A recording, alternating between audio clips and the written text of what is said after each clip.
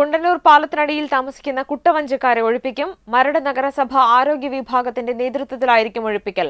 കുറുവാ സംഘാംഗം സന്തോഷ് ശെൽവത്തെ ഇവിടെ നിന്നും പിടികൂടിയ സാഹചര്യത്തിലാണ്. നടപടി ജൂലിയറ്റ് സെബാസ്റ്റ്യൻ ചേരുന്നു. ജൂലിയറ്റ് വിവരങ്ങൾ.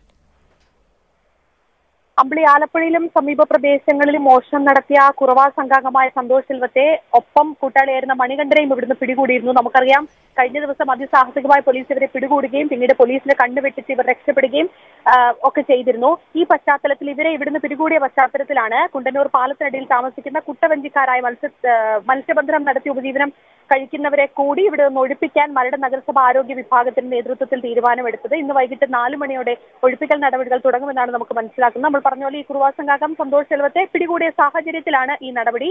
മത്സ്യബന്ധനം നടത്തി ഉപജീവനം നടത്തുന്ന കർണാടക സ്വദേശികളായ കുട്ടവഞ്ചിക്കാർ ഇവിടെ താമസം തുടങ്ങിയിട്ട് വർഷങ്ങളായി. അതുമാത്രമല്ല വയനാട്ടിൽ നിന്നുള്ള കുടുംബങ്ങളുണ്ട് ഇടുക്കിയിൽ നിന്നുള്ള കുടുംബമുണ്ട് പ്രായമായവരും കുട്ടികളും അടക്കമുള്ള കുടുംബമാണ് ഇവിടെ ഉള്ളത്.